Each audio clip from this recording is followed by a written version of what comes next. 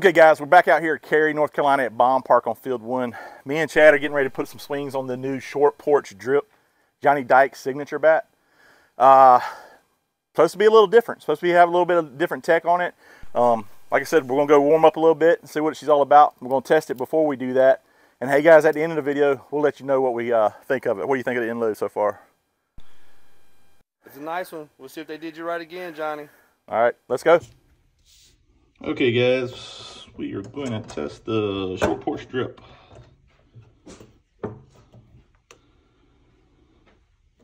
Alrighty. It's like 15, 25 I would say.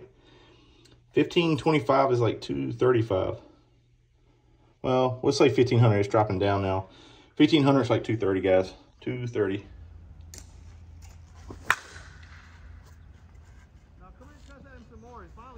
Yeah.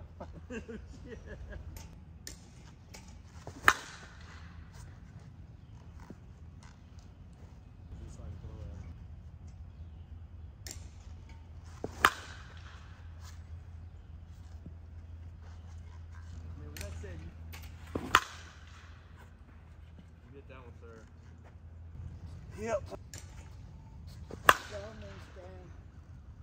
I just missed that one, Bo. Jesus Christ.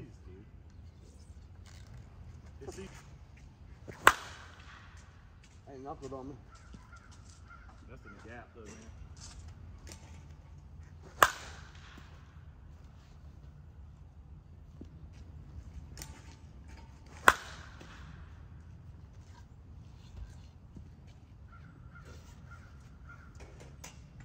Okay, guys, so just give you a little bit of information about the short porch drip Johnny Dykes bat. Um, first things first, they come in sizes of 25 ounces all the way up to 28. It's got a 12 and a half inch barrel with a half ounce end load. Um, these are going to be a little bit different than the previous Johnny Dykes version that came out, the, the blue, baby blue to bomb. You guys remember we reviewed. Um, I don't know if you guys remember, but they started out around 240, 250 on the compression, and they took a lot of swings to break down. If you go back and watch that video, you'll see how much it took uh, those to break down a little bit more. So what these are different. They're going to start around 225, 230, break down faster. The composite will break down a little bit more faster. And there's a little bit different balance point in the hands and it feels a little bit lighter than say the previous Johnny Dykes or the, the, the previous DeBomb bat. Um, so, and this is a new tech. And let's show you the up close look at this pretty cool paint job here. Definitely bright. Still got the same knob here. But yeah, man, I've already showed you the ink cap. But this is a different uh, paint job. But these are supposed to break in much faster. So let's get back to the review. Coming off good. It is.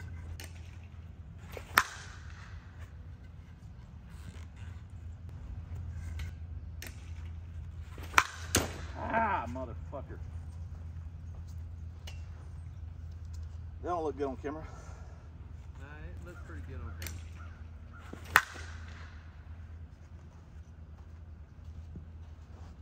I ain't swing hard, dude. I know.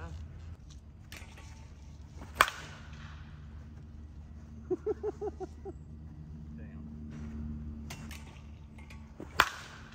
God bless America. This was your idea, I know. not mine. I know. Not mine, ladies and gentlemen. His idea. Damn. Sound like That's line drive, dude. One more. All right, guys, we're gonna scale the short porch drip. It's a 26 ounce we have. This is 25.2 ounces overall. End load 16.4.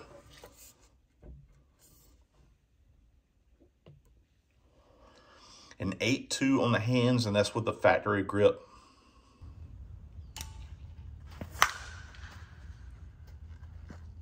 One.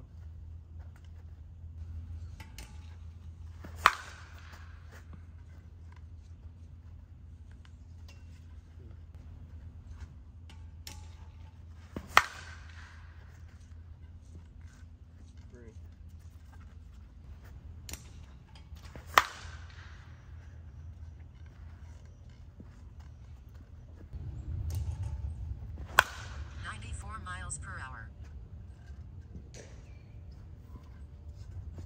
94. 94 miles per hour. 94. And that didn't feel as good. 97 miles per hour. slide on you, did it? That was 97. 96 miles per hour. Nothing. Yeah, but you still like you topped it a little bit. Damn. Like I said earlier, guys, we're out there in Cary, North Carolina at Bond Park on field one. It's like 310 down the left field line, 305, 304 in center and right. Guys, it was a humid 70 degrees that day, and we were using our Evil BP rockets, our Short Porch Pro M's, and our Short Porch uh, Freedom Balls. Guys, I'll have discount codes down below for these with the links to where you can purchase these at. So let's get back to the review.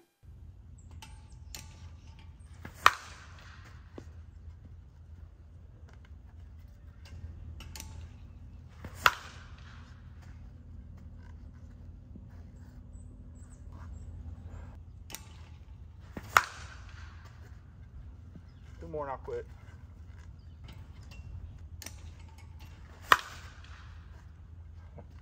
stepped out too, did you Yeah. It was inside. 96 miles per hour. That took a barrel on that. That sounded different. 94 miles per hour. I'm, but I'm, when I hit it good, I'm squaring it up though. Miles per hour. One more. All right. 95 miles per hour. Right down the line. Keep that one good. I changed my. All right, guys, we're gonna do the final testing on the short porch drip.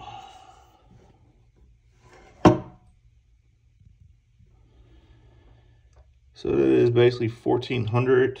1400 is right over, right around two, 207. Yep. 207 on my tester with 120 swings. All right, guys, we just finished up swinging the uh, short porch drip Johnny Dyke signature bat. Um, probably got maybe, I don't know, 120 swings on it so far. Um, what do you think of it, Chad?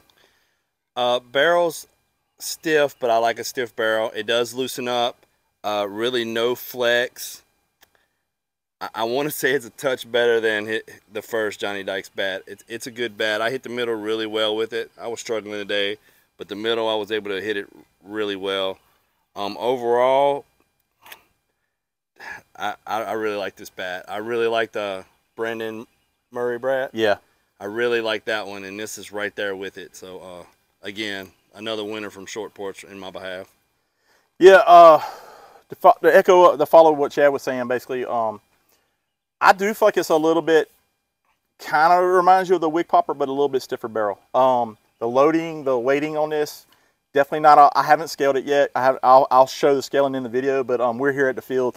But it's uh, not a lot of hand weight. It's got a nice butt, easy to drive. There's a touch of flex in here, like Wig Popper flex, but not nothing because me and Chad hate flex bats.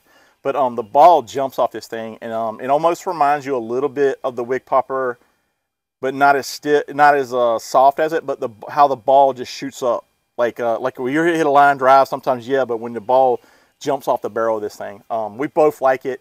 Um, I'll put a link down below where you can pick these up at Smash It Sports or Short Porch, and I'll put uh, my discount codes for both of these. But um, guys, this is a winner. I think this is Johnny Dykes. This is definitely breaks in faster than the previous Johnny Dykes. Uh, but yeah, we like it. I guess that's it, guys. Until next time, keep hitting it.